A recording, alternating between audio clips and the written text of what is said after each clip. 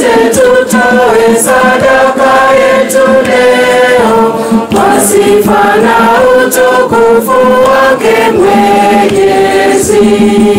Mkate huu na divai iwe mwili wake, kwa heshima kuu sadaka tumtolee.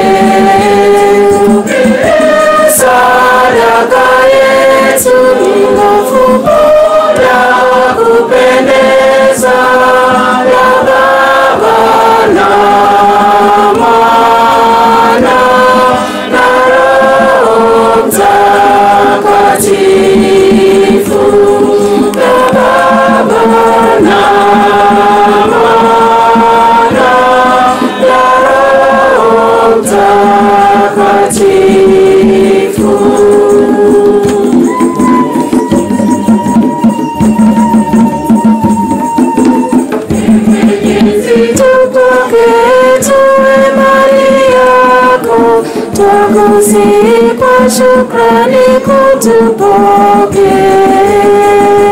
Tunakutolea nguvu, kazi na mavuno, kwa